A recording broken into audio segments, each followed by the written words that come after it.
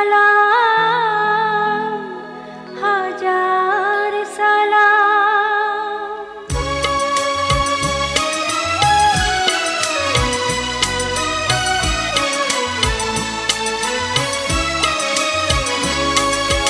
सलम सल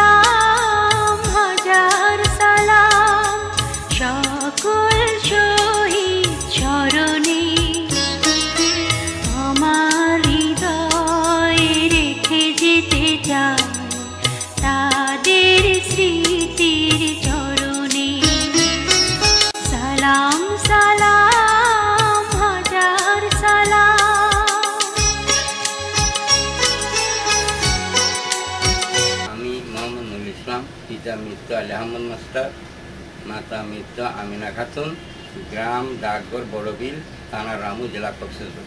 বর্তমানে আমি দক্ষিণ বাইশারি বাইশারি থানা নাইকনজুরি, জেলা বান্দরবনে অবস্থান করি উনিশশো একাত্তর সালে আমি ক্লাস এইটের ছাত্র ছিলাম, ঈদগাহ হাই স্কুলে তখন আমি তৎকালীন জাতীয় সংসদ সদস্য উসমান সরোয়ারের উদ্বৃত্তে রামু স্কুলের মাধ্যম, এই ইপিআর তৎকালীন ইপিআর এর ক্যাপ্টেন হারুন আহমদ চৌধুরীর সাথে আমি যুদ্ধে আসি।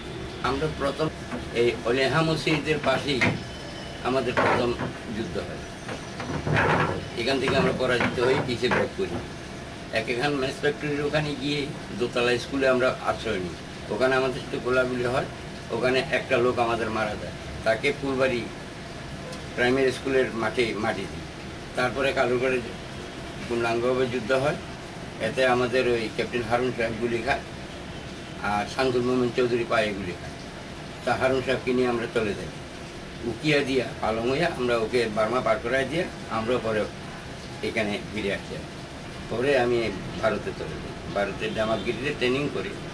চকরিয়া মাহবুব গ্রুপ কমান্ডার মাহবুবের সাথে। একশো বাউন্ন নম্বর গ্রুপ এর সাথে আমি যুদ্ধে অংশগ্রহণ করি। আমরা জামাগিরি থেকে আগরতলা হয়ে হরিণা সেক্টর দিয়ে ঢুকছি। বাংলাদেশের কিরাম দিয়া, পটিয়ার বর্ধনার পাড়া দিয়ে জামেদুরিতে যাই। জামেদুরিতে আমাদের সাথে রাত্রে যুদ্ধ হয়েছে, আমাদের দুজন মারা যায়। সুভাষ এবং বিমল। পরে আমরা দু হাজার অ্যাটেক করি। দু হাজারই অ্যাটেক করলে একটা ব্রিজ ভেঙে দিয়ে তারা এই প্যারা এসে যায় পাঞ্জাবিরা রেল স্টেশনে তখনই আমরা ঘিরে রাখি। পরে ভুটানি সৈন্যরা আসার পর ওরা আমাদের হাতে সিলিন্ডার করে। আমি অস্ত্র নিয়ে আমার বাড়িতে যাই ওখান থেকে কক্সবাজার কোটা অস্ত্র জমা করি তারপর দেশে বাড়িতে। উত্তরে আমার চাকরি হয়তো লেগেছে আপনার সঙ্গে আর যারা যুদ্ধ করছিল ওনাদের নাম মনে আছে? হ্যাঁ আছে। যেমন আমার গ্রুপ কমান্ডার মাহবুব। ঈদগাঁও একজন আছিল ফুকন মল্লিক। সাতকানিয়ার দলিল বক্স কমান্ডার ছিল আদিনাথ, রঞ্জিত। এরা অনেকেই এখনও বেঁচে আছে। আবার পটিয়া গ্রুপের সাথে আমরা একসাথে তিন গ্রুপ আছি তো।